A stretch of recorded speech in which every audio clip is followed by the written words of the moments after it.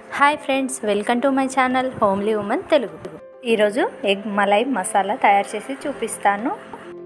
దీనికోసం ముందుగా రెండు బిగ్ సైజ్ ఆనియన్స్ని నాలుగు పచ్చిమిర్చి ముక్కల్ని ఒక మిక్సీ జార్లో వేసి మెత్తగా మిక్సీ పట్టుకొని పెట్టుకోవాలి.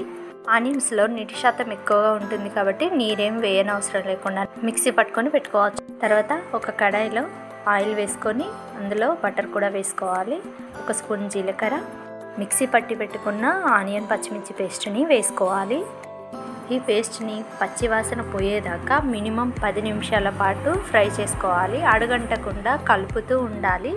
తర్వాత ఒక స్పూన్ అల్లం వెల్లుల్లి పేస్ట్ వేసుకోవాలి. ఇది ఒక నిమిషం పాటు కలుపుకున్న తర్వాత హాఫ్ స్పూన్ పసుపు ఒక స్పూన్ కారం ఒక స్పూన్ ధనియాల పొడి హాఫ్ స్పూన్ గరం మసాలా వేసుకొని బాగా కలుపుకోవాలి.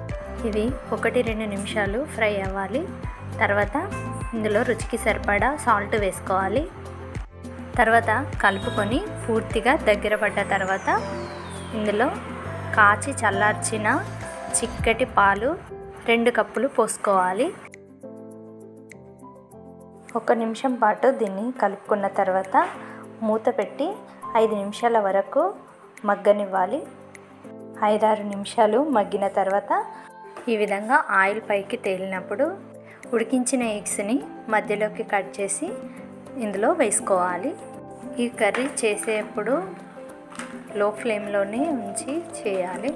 ఎగ్స్ అన్నీ వేసుకున్న తర్వాత దీనిపై మూత పెట్టి ఒక ఐదు నిమిషాల వరకు మళ్ళీ కుక్ చేయాలి. ఐదు నిమిషాల తర్వాత మూత తీసి ఎగ్స్ని వేరొక వైపుకి టర్న్ చేసుకోవాలి. ఫ్రెండ్స్ ఈ కర్రీని నార్మల్ వైట్ రైస్లో కంటే జీరా రైస్తో కానీ బగారా రైస్తో కానీ చాలా బాగుంటుంది. టర్న్ చేసుకున్న తర్వాత ఒక రెండు నిమిషాలు ఫ్రై అయితే సరిపోతుంది. తర్వాత కొత్తిమీర జల్లి స్టవ్ కట్టేసుకోవడమే అయిపోయింది friend egg malai masala curry. నా వీడియో కనుక మీకు నచ్చినట్లయితే లైక్ చేయండి షేర్ చేయండి.